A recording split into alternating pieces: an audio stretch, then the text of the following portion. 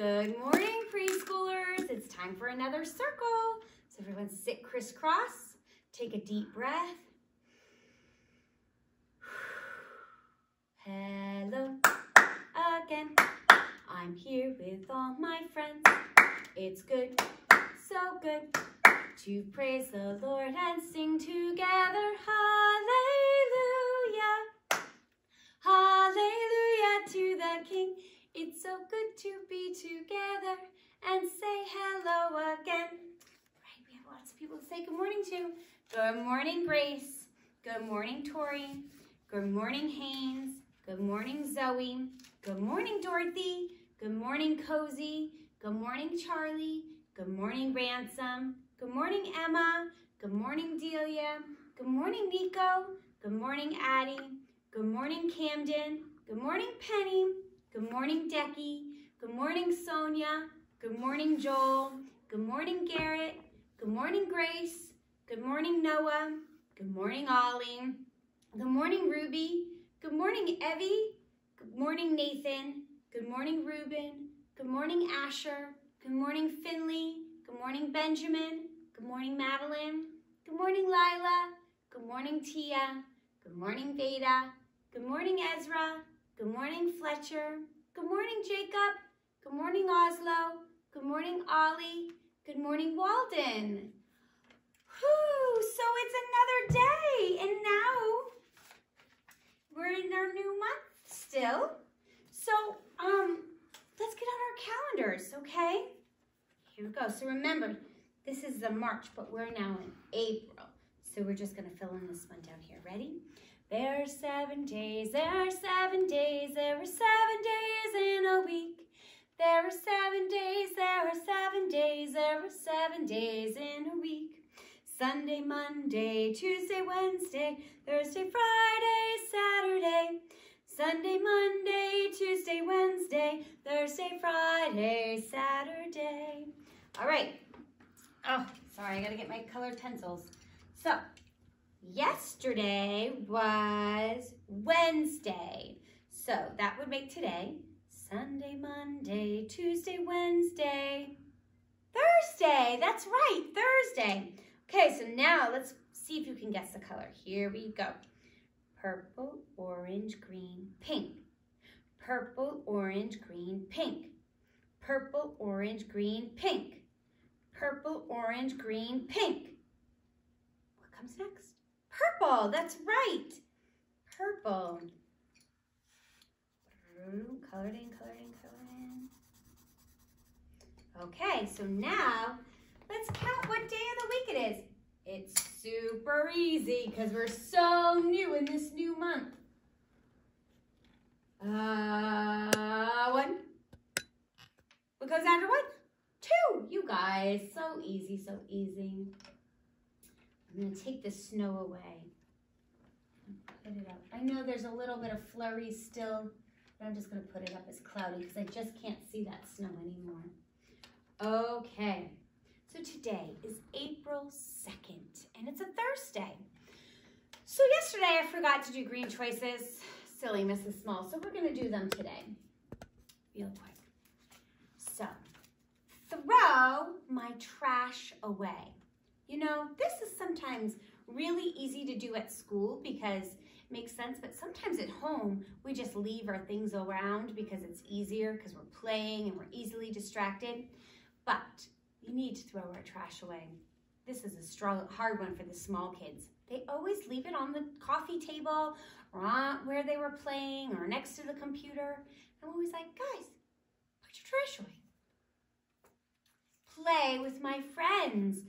This is a great green choice. And you know what's so special is your brothers and your sisters are your friends.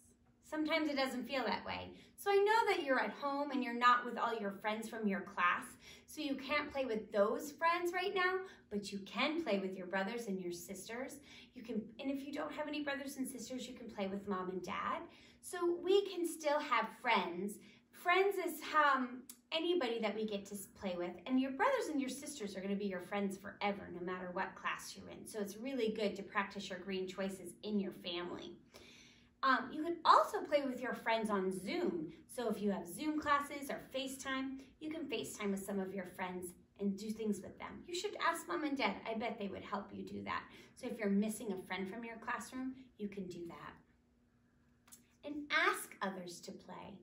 Sometimes um, this can work in two different ways. Sometimes you can see a friend in your classroom or a brother and sister that's not playing with you and they kind of seem sad or shy or maybe even grumpy and asking them to play and do a game with them might really make them feel better.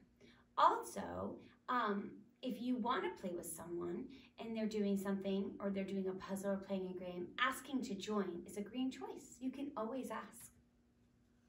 So those are our green choices today.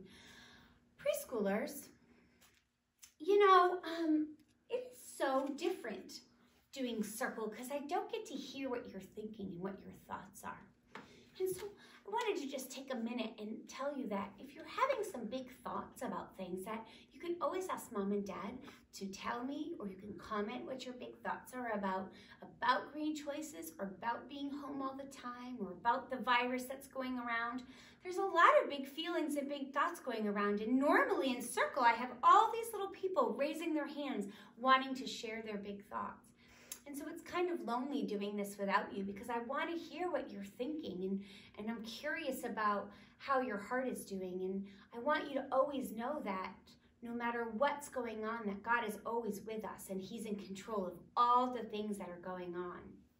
We're going to read a book next week um, called It Will Be Okay. And so there were some verses in here that I was like, hmm, I want to start reading them to you. These are verses to help you not to be nervous or anxious. This is one of Mrs. Small's favorite. Do not be anxious about anything, but in every situation, by prayer and petition, with thanksgiving, present your requests to God. It's Philippians 4 6. So I want to talk about that really quickly. When things are different and, and not the same, sometimes inside our hearts we feel anxious. That's kind of like feeling like you have butterflies or um, you're nervous, like you're to go on do a play or you have to read out loud or you're going someplace new. You know that feeling you feel where it's all kind of like tingly? That's being nervous. Anxious is another word for nervous. But God says that we don't have to always be nervous about anything um, because He's with us all the time and that we can talk to Him. And that's what praying is it's just talking to God. And that we can tell Him all of our thoughts and our fears and what we're thankful for, and we can talk to Him about them. We can present those requests to God. That's what that means. And so that is what I want you guys to think about. If you're nervous or curious, um, or maybe lonely or grumpy about being home all the time and not being at school and not seeing your friends, you can talk to God about that. You can talk to mom and dad about those things. You can talk to me about them it's okay to feel those feelings. But what god says in this in this verse is that you can present them to god and he will take kind of help you with those that he's always listening to you that you're not in this alone. You're not you still have your mom and your dad and even mrs small mrs smith. And that's really important that you always know that you can that that you have those feelings and that they're okay. Okay so today, I want you to go back and review your letters, review your poems. I want to be able to hear them and see you do them. And I also remember it's the letter P this week. So this week I want you to do, today, I want you to do a puzzle. Do you have a puzzle in your house that you can do and show me? I also want you to, if you don't have a puzzle at house, you can take a picture and you can cut it so that's another project you can do. You can either um, take a picture that you've drawn and glue it on a piece of cardboard and mom and dad can help you cut out the pieces and you can build it back together. So I want you to make a puzzle and do a puzzle and practice your letter P. Okay guys, I love you. See you tomorrow.